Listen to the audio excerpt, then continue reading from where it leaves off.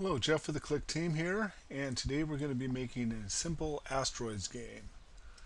So let's just start a new application, and let me open up a graphics file for some graphics for our game. Put a background on here, put that at 0, 0, lock it in, ship, and off screen we'll do our explosion, our shot, large and a medium. Okay, that should be enough for us to get going here. Okay. I'm going to highlight both of our rocks. So I got them both selected and I'm going to add these to a qualifier group. And this will just simplify my code a little bit because I can test the group all at once.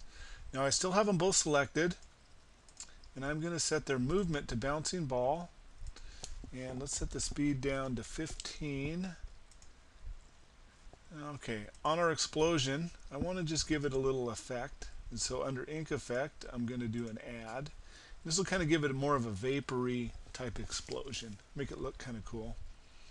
And let's go on our ship. Our ship is going to get the spaceship movement. Eh, went off the screen, but it's way down here at the bottom. Trust me, it's there if you look. Okay, let's crank up our thrust power to about 50 our rotation speed about 30 gravity 0 gravity direction I'm going to unselect everything. Okay that should be about good. Let's run our game right now. Okay we're running we're rotating pretty good. We're thrusting. Okay so let's go do some programming now. Everybody knows how asteroids work so I won't have to explain the game for you First thing I'm going to do is for the rocks to wrap around the screen. And I'm going to test this as a group. And I'm going to test the position of group bad for all four of those going out of the frame. And that's just a simple movement wrap around play area. So if we run our application now, you will see when a rock exits one side, it enters on the other side. Okay, let's do the same for our ship.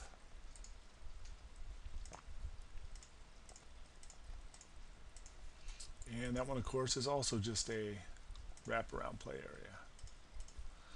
So if you fly off one side, you fly into the other. Okay, so we probably need to do some shooting now and some collision detection.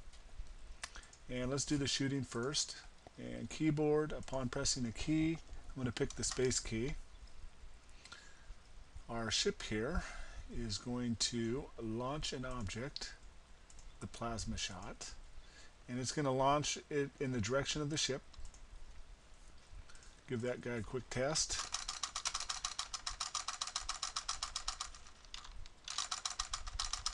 Okay, so that looks pretty good. Now let's test for the bullet hitting the large rock. And large. Okay, so when this is true, I want to destroy our shot and I want to create an explosion. And that's going to be relative to the large rock. And then I also want to create a medium rock. And that's also just relative to the large rock. Then I'm going to create another medium rock relative to the large rock and then I'm going to destroy the large rock.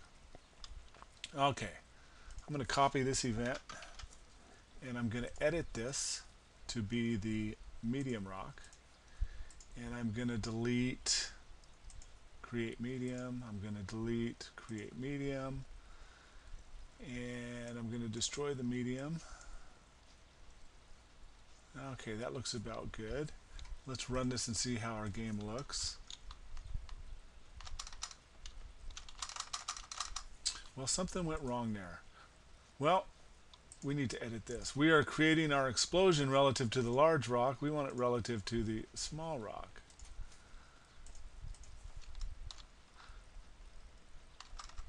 The products make it easy but not idiot proof and you can still have logic errors. Okay, now we need a few more rocks to generate. So let's do every three seconds we are going to create an object and it's going to be a large rock and we'll create it off screen down here. So unless you get to work cleaning out the asteroids, it's going to get busier and busier here.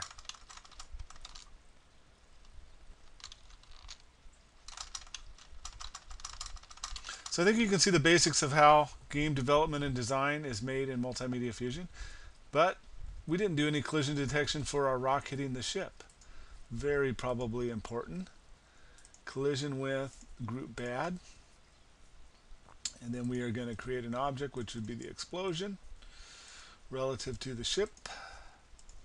And then we will destroy our ship. Alright, now it's a little bit more challenging since the rocks can actually destroy us. You know, so in an educational setting, the students are going to be having logic errors, but they won't ever have any syntax errors. So they won't be frustrated by syntax. They'll just be using their brain to develop the video game and computer programming logic. Thanks a lot.